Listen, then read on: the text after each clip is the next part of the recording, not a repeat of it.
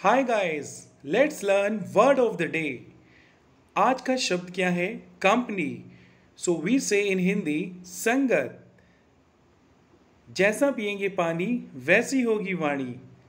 जैसा खाएँगे अन्न, वैसा होगा मन. जैसी होगी संगत, वैसी होगी रंगत.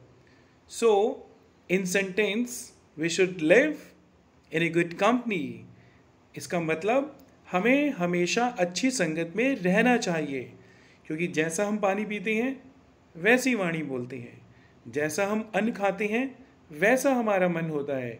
और जैसी हमारी संगत होती है, वैसी हमारी रंगत होती है।